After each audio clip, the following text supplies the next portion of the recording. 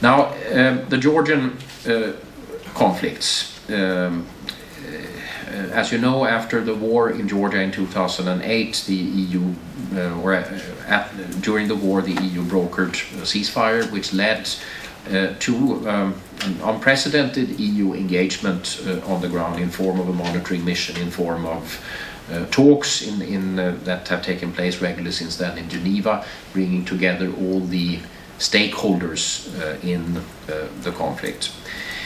Uh, I believe now that we need to go beyond the agenda at these Geneva talks, which focus on security related issues and, and IDP issues, by pursuing a uh, policy of engagement uh, uh, that, that will ultimately contribute to establishing an EU footprint and, and leverage in the conflict regions and also help to Europeanize them and make sure that they don't drift further away from Georgia.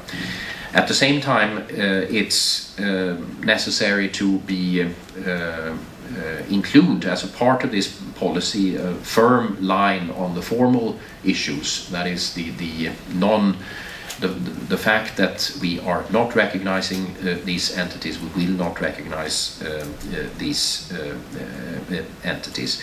In fact, both the, the non-recognition and engagement are indispensable legs of one and the same policy.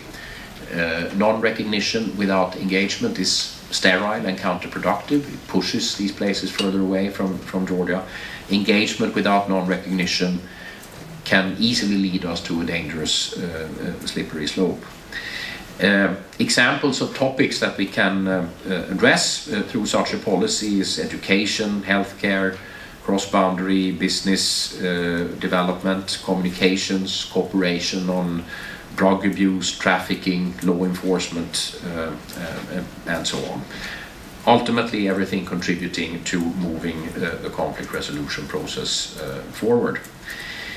Uh, we need to do this obviously in close contact with the Georgian uh, authorities. Um, uh, we will not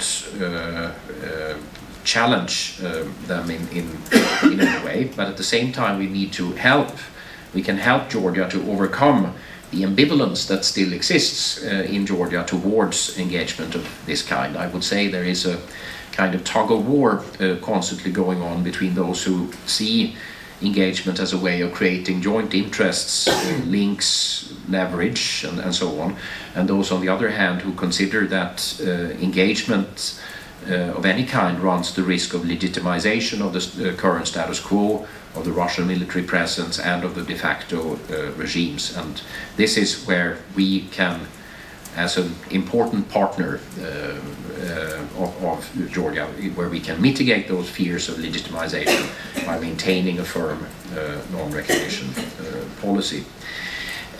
This kind of ambivalence or dichotomy we also see in, in terms of the Georgian-Russian uh, relations uh, between those advocating a gradual opening and building confidence and those on the other hand who do not see a possibility for a serious opening before uh, the Russian uh, troops are out or before at least there is a serious discussion uh, going on with also the troop withdrawal on, on the table. Um, uh, I mentioned the Georgian-Russian relations uh, here as a case in point also because they are in, uh, important not only for Georgia and Russia but they are also important for the for the entire region. Uh, I would mention uh, uh, Armenia as a case in point here, which is very much dependent on much of its trade with Russia passing through Georgian territory.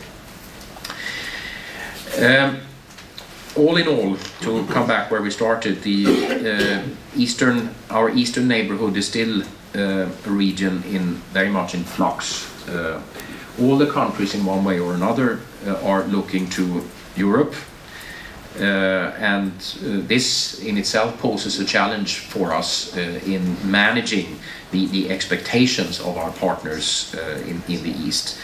The democratic governance uh, in this region is still uh, fragile. Uh, uh, it's important to focus on this because it is a, indeed a condition for a long-term stable relation with the uh, European Union.